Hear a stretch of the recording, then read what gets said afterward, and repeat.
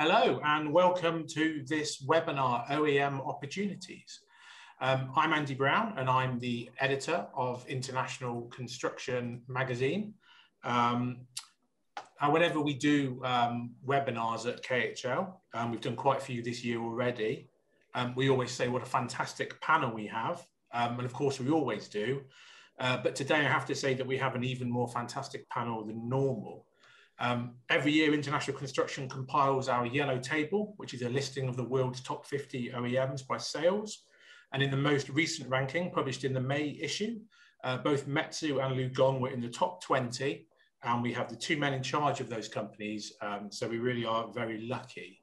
Um, I will introduce everybody um, in a second. I'm just having a look. I'm just seeing all the numbers um, come up from the attendees, which is great. Um, thank you to everyone who has registered. Uh, we've had over 500 registrations for this from all over the world. So it really is a global um, event. So thank you all very much. We anticipate that this webinar will last for approximately 45 minutes.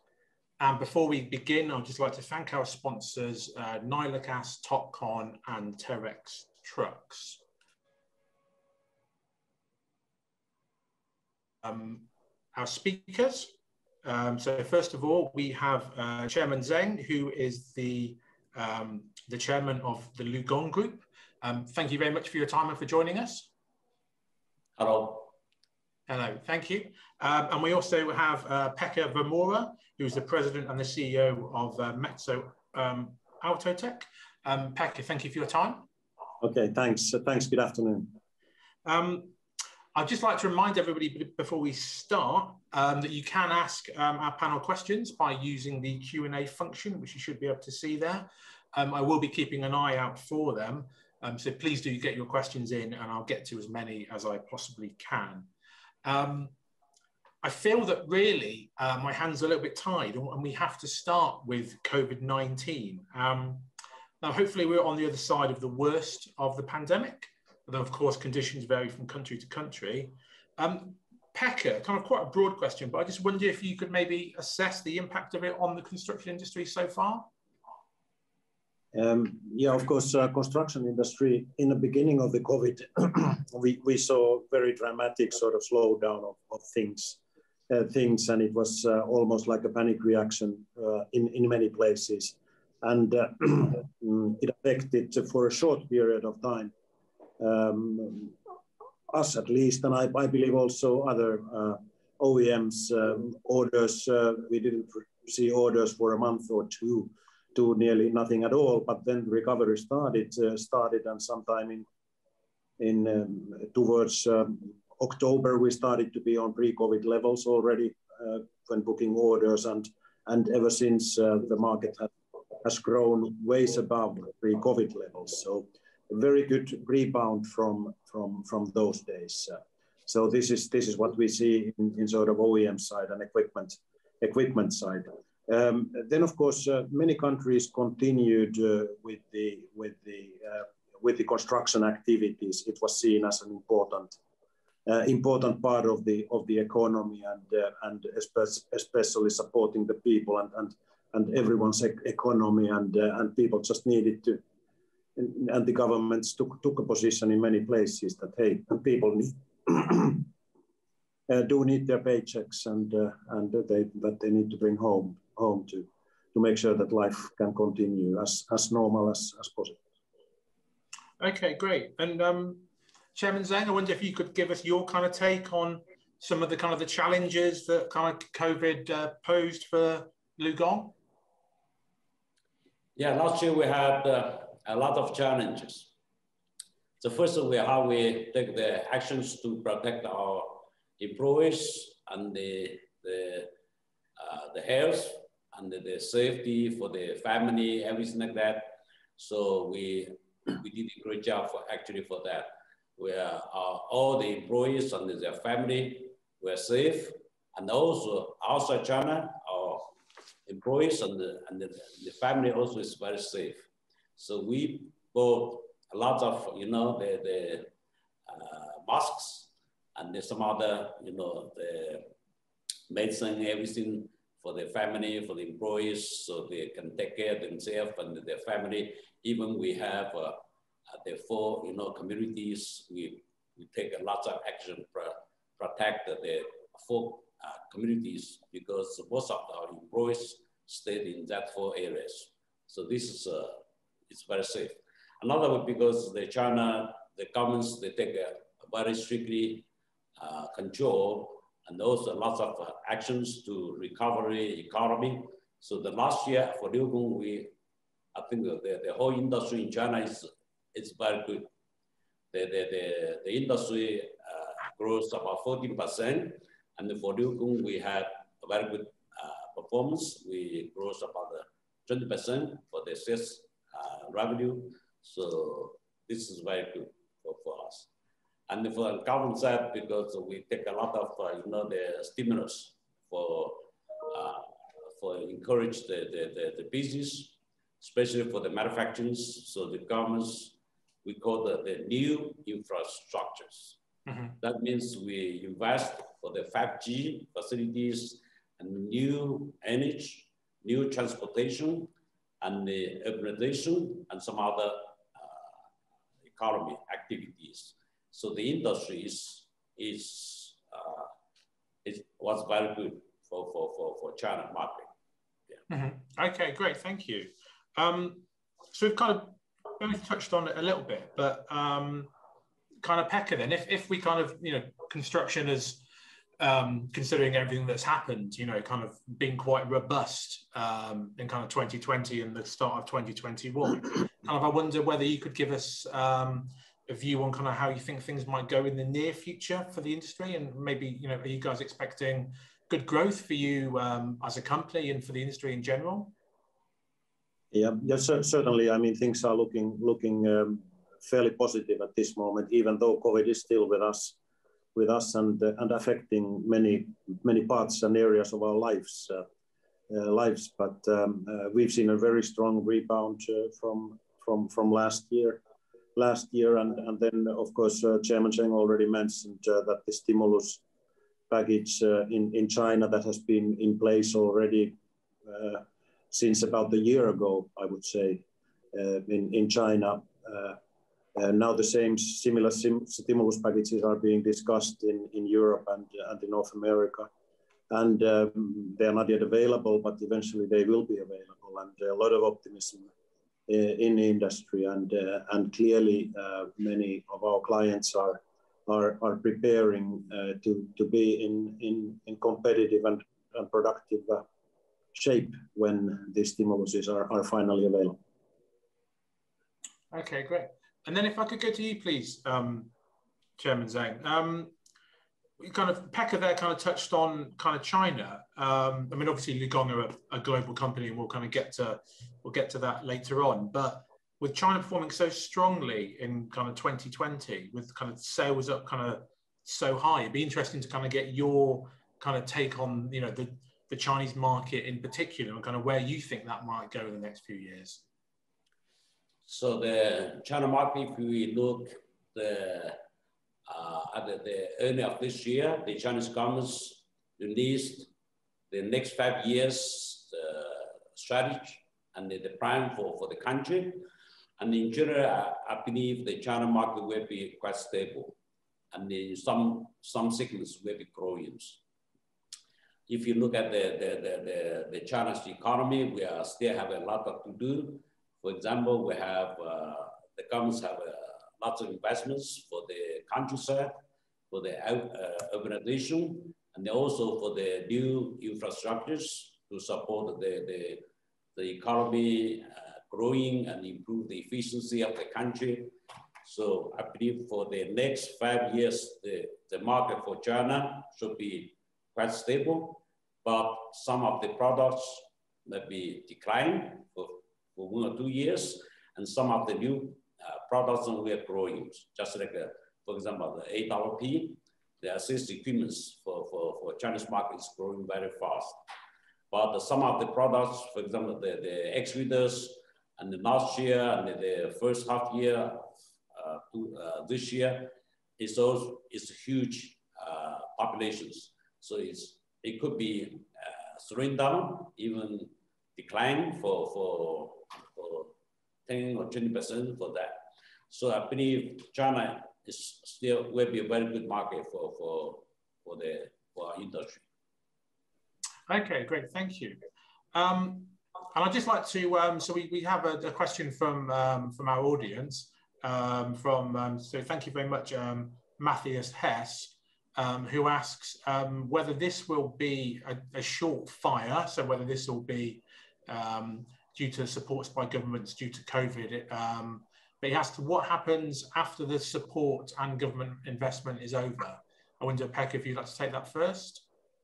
Yeah, uh, it is of course uh, there, there, can be various scenarios what will happen, happen, and and of course really the pessimistic one is that this will be a short shot, and, and that's that's about it. But uh, but on the other hand, if we look at what else is happening happening in the world, world, uh, the drive for sustainability overall in in, in the societies, it, it means so many things. We we need to rethink how we do things. We we need to obviously electrify things. Uh, we need to rebuild uh, a lot of our industrial infrastructure in order to in order to to be uh, um, be more sustainable in order to, to, to, to reach out to, to, to these commitments that, uh, that many countries and governments have given. We as a company, we have committed to limiting the global warming to 1.5 degrees and, and we, are, we are very serious and we believe in we, we believe in that it's something that everyone needs to needs to do and uh, and at the same time we see that as a business opportunity at the at the same time as as well so so i believe that it's uh, it's not a, a, a sort of a just one short uh, period that we go through, but many of these stimuluses will be really used, at least the European one, for, for so-called green transition and uh, and it's only the beginning of a, of a journey that we all need to need to need to take and go through towards the carbon neutrality. Okay, and just while we're on the the subject of stimuluses, um, if I can ask you, please, um, Chairman Zeng. Obviously, there has been a big a big stimulus um, in China, and that's obviously had had a big impact on kind of construction equipment sales. Um, kind of in the past, when there's been a big a big stimulus, you know, there has been you know a fairly kind of sharp decline that's followed. Is that something that you think might happen, or has that been kind of managed in perhaps a slightly kind of different way this time? So for China, I think the uh, stimulus uh, was over at the end of last year.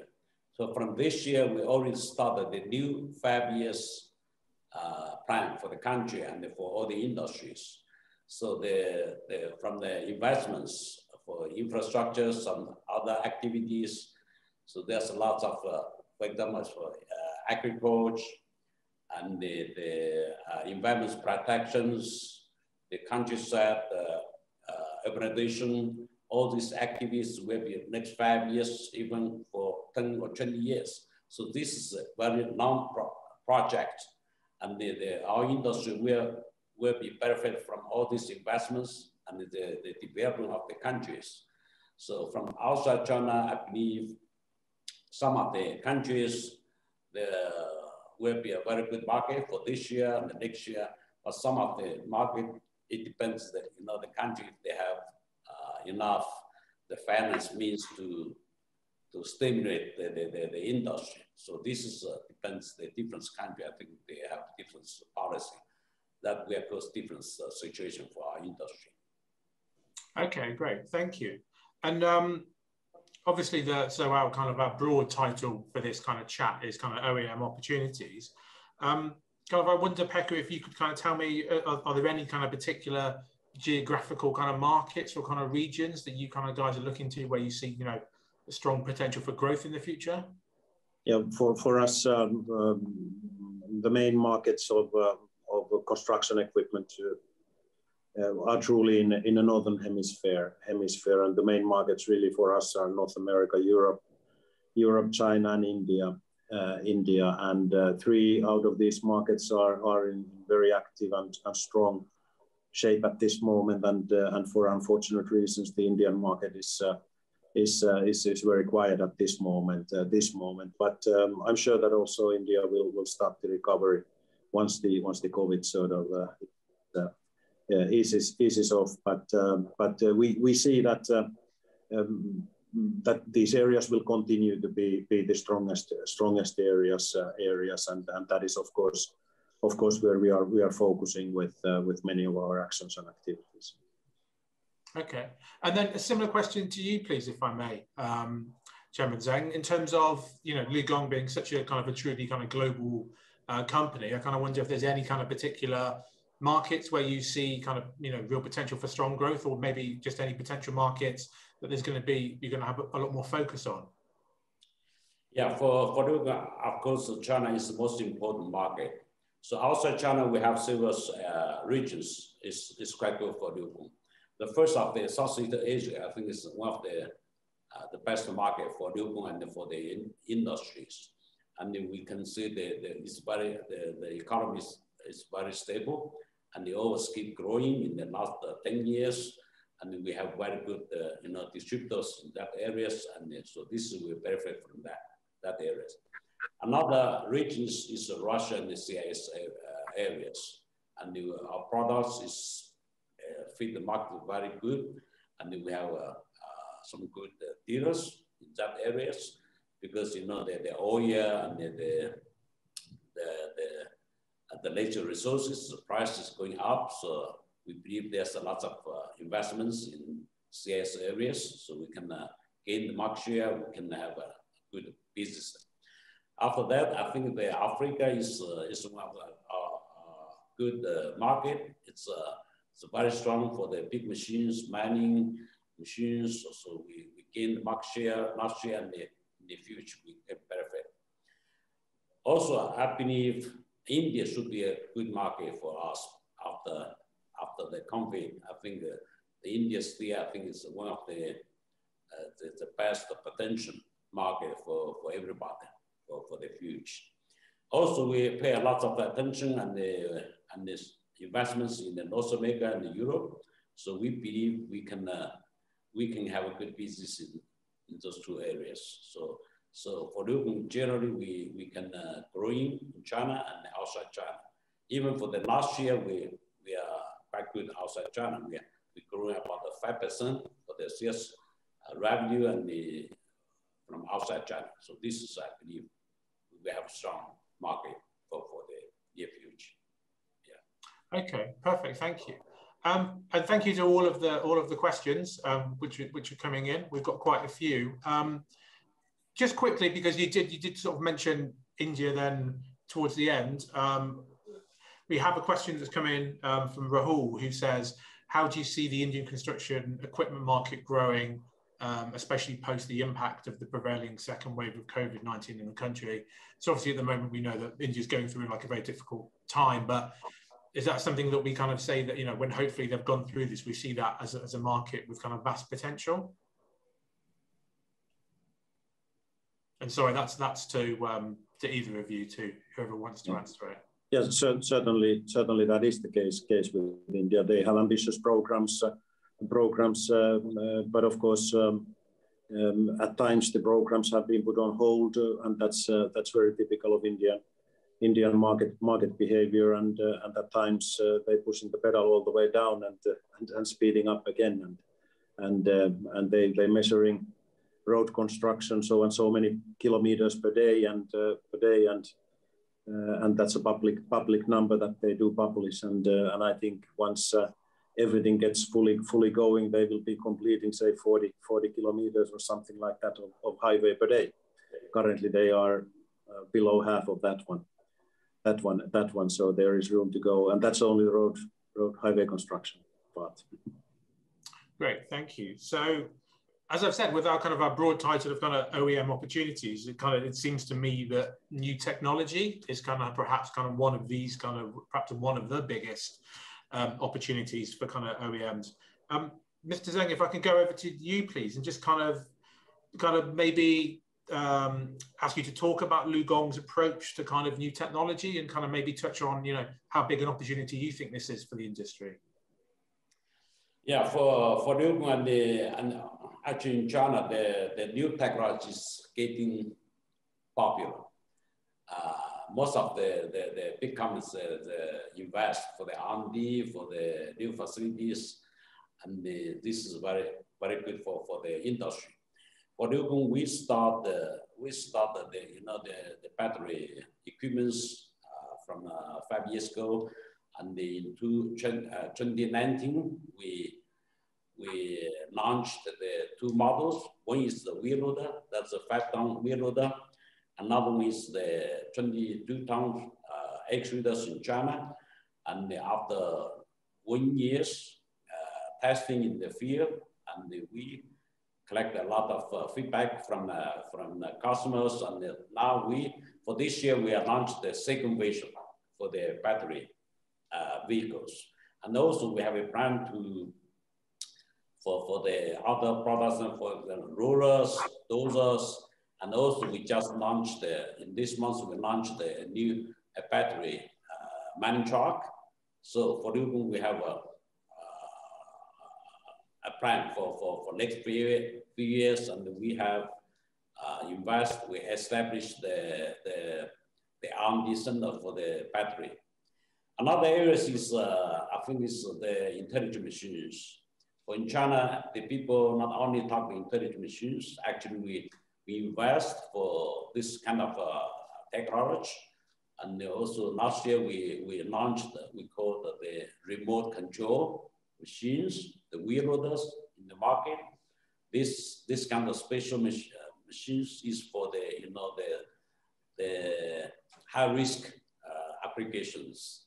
And we, we think this is uh, uh, the, the one step for the future for the auto, autonomous machines. In China, the, the people have a lot of passion for, for, for this kind of new technology. The third area is the big data. So we collect a lot of data from our machines.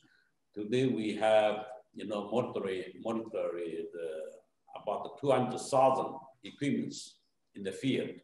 So every, uh, the, the back, every machine we monitor about 100 parameters. For example, the wheel loaders, uh, excavators, we can, uh, we can get all the data uh, in every five minutes from the machines.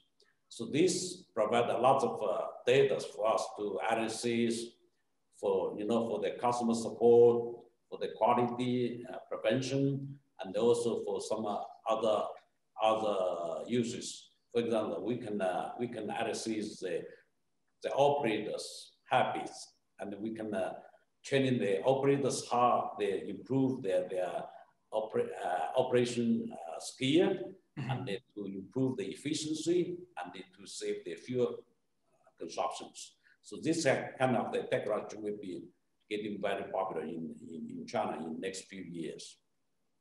So this, uh, this is, uh, of course, there's some other uh, new technology where, where investments, we, we got the IoT, the Internet of uh, the, the, the, we put all the machines collect as, as one, you know, one unit. So last year we have, uh, we started the mining, uh, a quarry. Uh, we, there's about uh, 100 machines.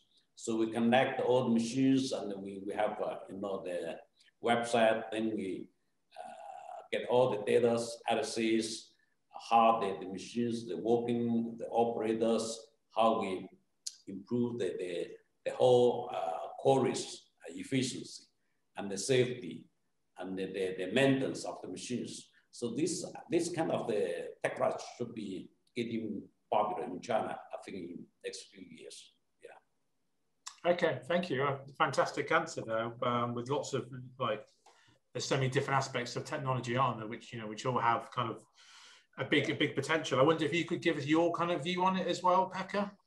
Yeah, very much we see similar things happening happening also also uh, elsewhere, but uh, but but clearly China is uh, is very advanced uh, already today, like Chairman Cheng Cheng introduced us. We are, by the way, partners in in China. China, we do have a uh, Liugong Liugong Liugong Metso joint venture there. Uh, they're manufacturing um, mobile crushing plants crushing plants, and uh, and therefore we are are of course following very closely what Liu Gong is is, is doing. And Uh, similar things we are doing outside the uh, out, outside China as, well. I mean, monitoring of the equipment, knowing knowing the status of equipment.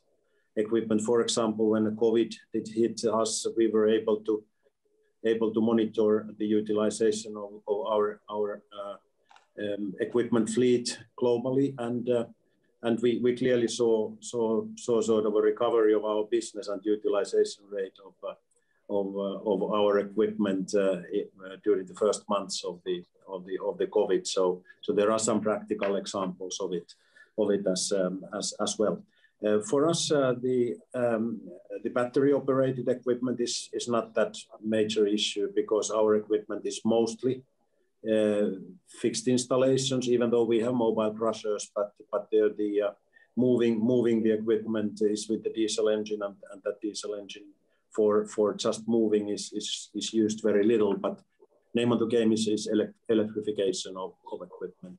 And uh, then, of course, uh, the issue becomes that how to, how to supply electricity, uh, especially to the job sites, construction sites. The quarry environment is easier because it is, it is more of a fixed installations there, and, and there we already have mostly electric equipment. But uh, but in, in construction job sites uh, where diesel equipment is, is more extensively used, used, there really the power supply needs to needs to develop uh, to a more sustainable sustainable way of, of doing. Maybe fuel cells will will, will be the answer at, at one point and uh, and uh, uh, be, be really the flexible flexible ways then, to provide the power to the to the job site. But the equipment needs to be provided.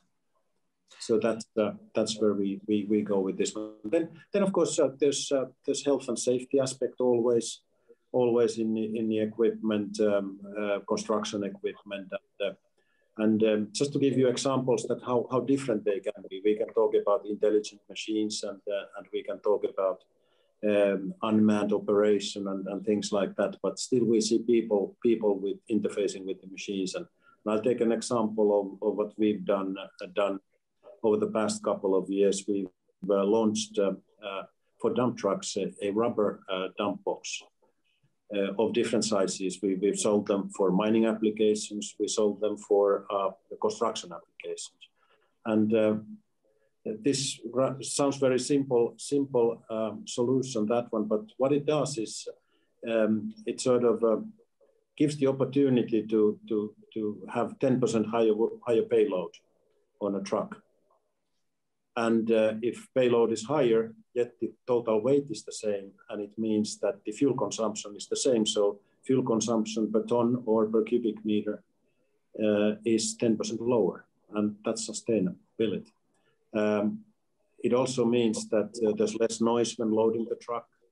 There's, very little noise when, when the sort of bucket of uh, bucket of rock or material drops drops from an excavator excavator bucket uh, on, on the box and less vibration to the operator. Mm-hmm. So these things do matter, do matter, and uh, and I'm sure that we'll see interesting developments around this one. Okay, great. Um, so I've just got a quick follow-up question, really, which is obviously both of you kind of talked about electrification and, and kind of battery technology. Um, I kind of wonder how much um, of the push for that is kind of coming from the customers themselves, or how much would it potentially be coming from kind of government and kind of regulations, or is it a, a combination of those two factors? I, I think uh, um, uh, certainly everyone is aware of it. Governments are pushing. Regulations will be tighter and tighter. So that is that is that is one side. Uh, one side. Companies, of course, take actions. They they prepare for this one.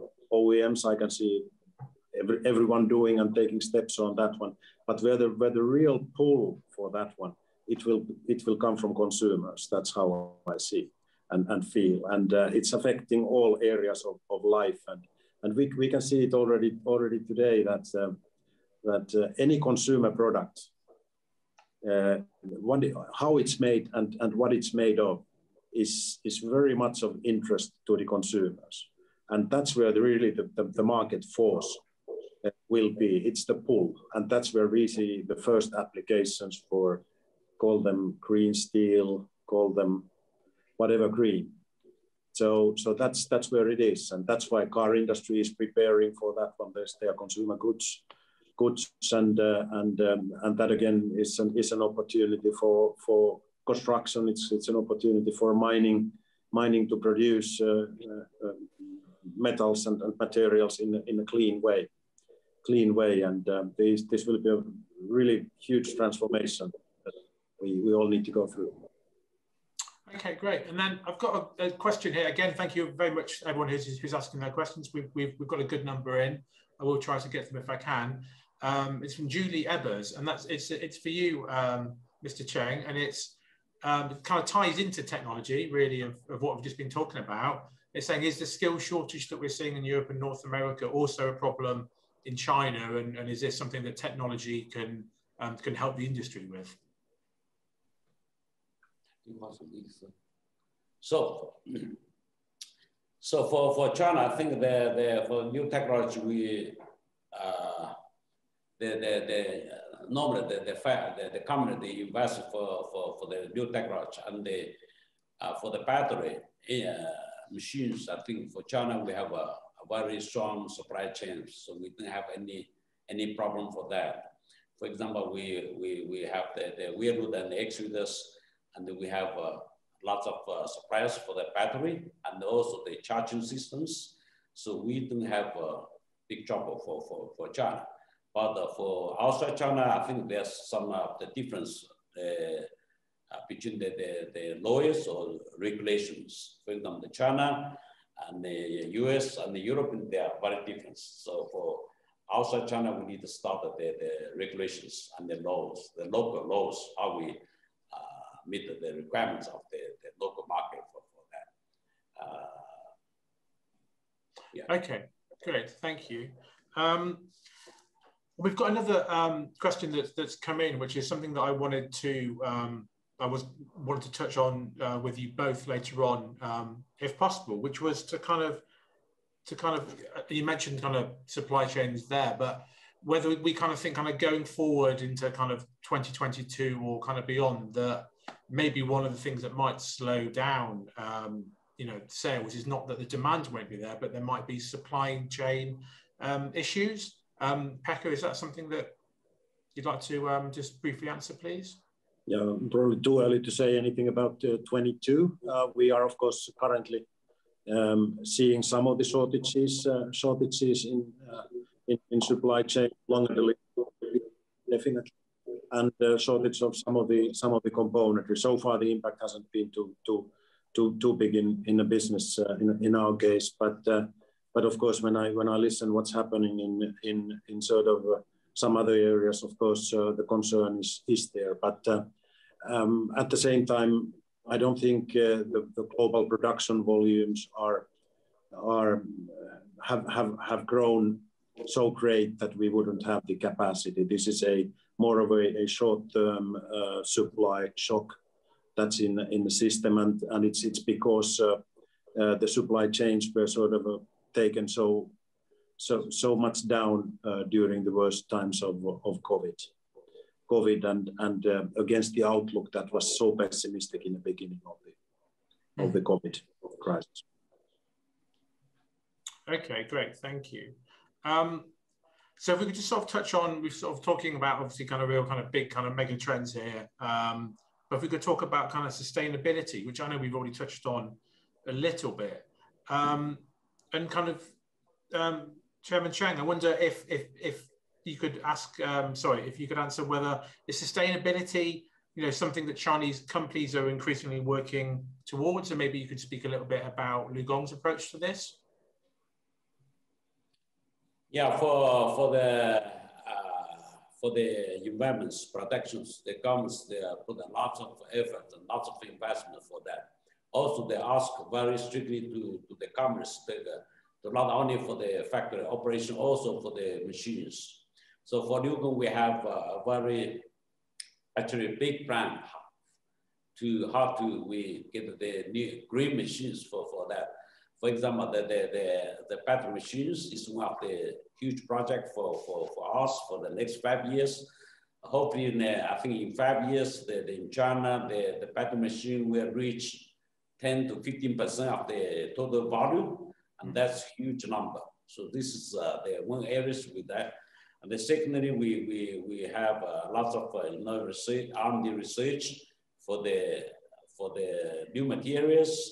And also it's important for next year, the China will launch the, will start the, the tier four uh, emission uh, engine. So this is also one areas we, we do that. So for, for, for, for, for LiuGong and the Chinese communists, we are really think it's very important how we how we uh, control the emission of machines, how we uh, how we investment for the protection, uh, environment's protection for, for that.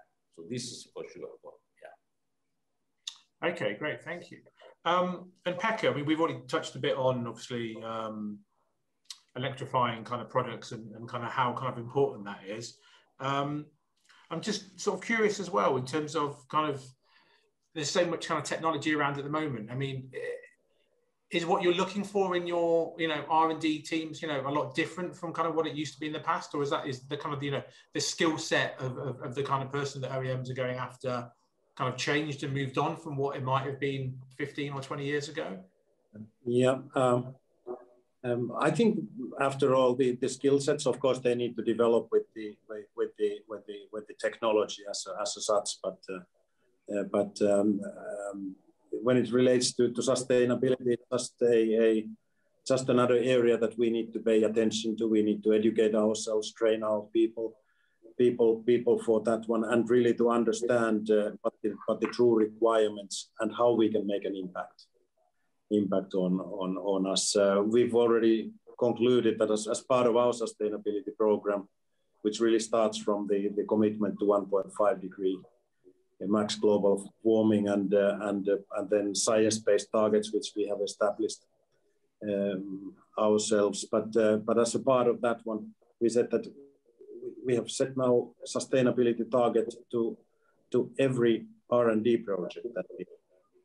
Sometimes it's the main main objective is to is to have a step change in, in sustainability. Sometimes it's one of the objectives but uh, this applies to, to R&D, but it applies to all development actions that we take in a company as, as well, as well. And, uh, and um, it applies how we run our factories.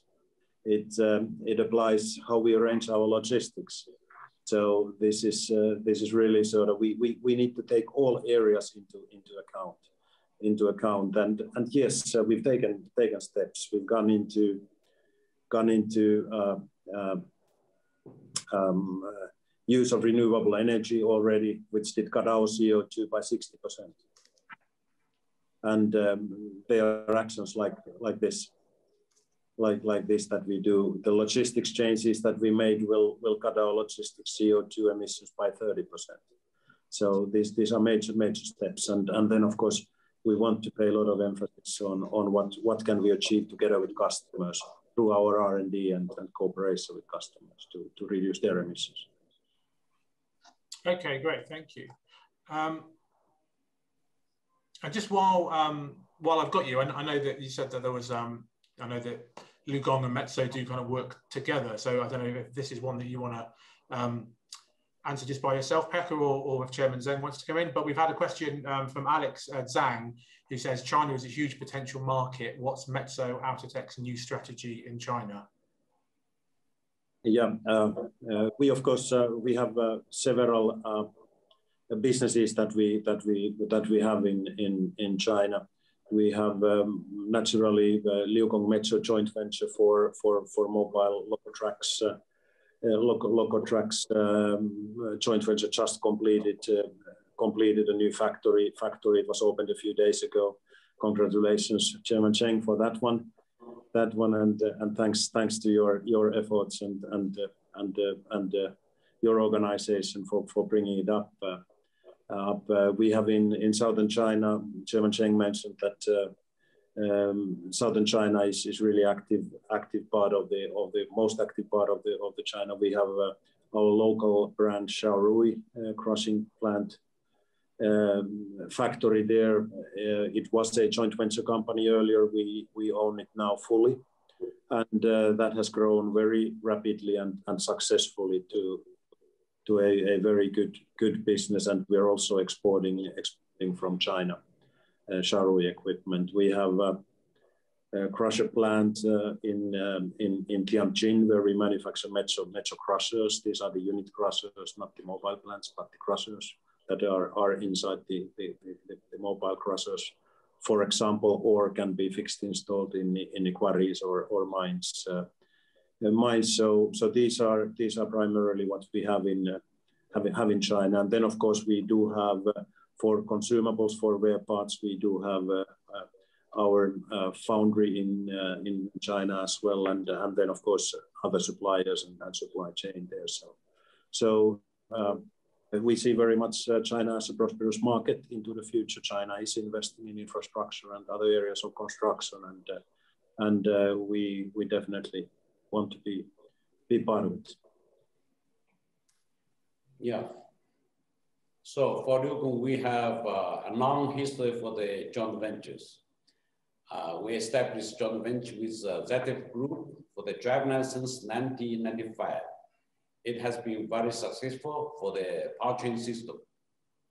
And also 10 years ago, we, we established the joint venture with Metso and another joint venture with Cummins for the engine. So both of them, they are very successful. So I believe in, in China and outside China, we can have a good uh, cooperation and we, we should have a, a much bigger business uh, for the future. I think we, we can uh, join together, have a refuge for, for our products and our customers. Yeah. Okay, great, thank you. Uh, we've got another question that's come in um, from John D, which I think is an interesting question, uh, but might be, um, I don't know, a difficult one to answer, but um, we can see. He says, um, sorry to come back to COVID, but do the panel think that the different um, vaccination rates across countries will create unique opportunities as some countries will be able to open up sooner than others. Um, so an interesting question, but perhaps not an easy one to answer. I don't know, Pekka, if you'd like to try that one first. Yeah, it is a difficult, difficult one to to see, but uh, um, we we see it any, anyways exactly the same way that it, it there won't be one single single exit day for from from COVID. Uh, COVID, it, it will be phased uh, uh exit uh, it will take country by country. And, um, and of course, yes, um, some of the companies uh, might be better off if their markets open up, open up faster. And, uh, and, and of course, they will strengthen from the COVID, COVID issues and, uh, and recover from the COVID issues faster. And, maybe that can create some, some but, but I haven't thought, thought about from this angle, angle before, but but certainly its uh, recovery is not taking place at the same pace and it, it, places companies a little bit in different different positions. The ones who are who are operating internationally will of course be able to able to, to benefit from from all opening markets. Okay, great, thank you. And um, we've got another question sort of that has has come in, and I think this is this is interesting as well. Um, and again, it's to both of you. And it says, kind of, do you see kind of different products? So combustion, again, you know, versus say electrical hybrid being developed and manufactured at the same time, serving uh, different markets around the world? That's, yeah, please. Please, please, Jim. Go ahead. So I believe uh, some of the new technology, for example, BEV, the battery machines will be started from some countries. For example, in China, they government support this. And the, the, the, the, the customers really want to try the, the new technology. And so this, I think, should be uh, very good for, for our industries. For some other countries, I think it's with the, the infrastructures. For example, your charging system, you have to have the, the high efficient charging system, otherwise you cannot have battery machines. And also the, the government should have a law to support this. And then we need some uh, new laws and new standards so to, to build the environments for the new technology for, for that. So I believe in the future, in the next five years, most of the countries from Europe into North America and China, maybe some of the other countries, we will start all this, we will support this kind of the new technology for, for them. That's a good opportunities for, for our industry, I think, Great, thank you. And Pekka, would you like to add anything to that? No, I think uh, that that covers covers pretty nicely, pretty nicely also my my viewpoint. Okay, perfect. So, um, yeah, I mean, we kind of talked to we kind of quite a broad range of kind of topics that, that we've spoken about today. I mean, it really does seem like kind of going back to that that kind of headline theme of OEM opportunities that you know um, electrification and kind of batteries and kind of new new technology kind of really do provide you know those those massive opportunities and I suppose my kind of final question, which is kind of more of a kind of a, a broad one, which is kind of do you think that we've already seen as an industry quite a big productivity and efficiency uptake thanks to these new new technologies? And kind of where might that be able to take us in the future? Yeah uh, i think um, all businesses all industries have have spoken and discussed about the digitalization, but but the real applications for for that one uh, in global market needs to needs to take place. Uh, uh, so so I'm sure that there is uh, through big data, machine learning, AI, these uh, these these various uh, applications. there's there's lots of room to to to improve productivity and efficiency still and, and then naturally development of other related technologies, technologies, and and um, we also have to start to see also sustainability as a as a part of our productivity. That what can we produce with with lower emissions, and it, it needs to become a one of the productivity measure. That is clearly an area where where, where, where we will invest our our our monies into future. Great. Have you got anything that you'd like to add to that, Chairman? Uh, I agree, Mr. Pekka's uh, opinions, but in China, I think maybe the, the, the industry move a little bit fast for that because you know the, the Chinese customers they like the new new new new technology and the new equipments, and especially you know in China the the the, the labors the, the numbers of labors is, is uh, declined since uh, now maybe next five, five years. So the people we, we need the, the, the autonomous machine or one operator, they can uh, operate maybe seven machines. So this kind of demand is already there, come from, comes from, uh, from big companies, from the contractors, from the, you know, the, some other, the mining, uh, the owners. So this is I think is, is good for us because the customers, the customer driving our industry to move fast for them. Yeah. Okay, yeah. perfect. I, I do fully agree, by the way, that view that China is moving faster than, than the rest of the world in, in this regard. Yeah, that too. Good. Okay, great. Well, thank you very much. So we, we said that we were going to be um, 45 minutes. We've, we've, we've been 50 minutes. Um, I appreciate um, both of you are extremely busy men, and, and we really do appreciate um, your time. So, um, Pekka, thank you very much. Thank you so much. And um, Chairman Zeng, thank you so much for your time. I do, I do appreciate it. Thank you, Andy. Please say regards to Mr. King, James King. okay. Will do. I will, I will pass on my regards. Hopefully, he's been watching. Um, okay. Yes, I will pass on my regards. Thank you very much. Um, so yes, so that was um, that was our webinar, OEM opportunities. Thank you again to everybody who registered and for watching. Uh, just remains for me to, to thank our sponsors again. That's Nylacast, Topcon, and Terex Trucks. Um, this webinar has been recorded, so please do keep an eye on www.khl.com as we will upload it in the next couple of days. Um, so yes, once again to my panel, thank you very much and thank you for watching and hope to see you soon. Bye.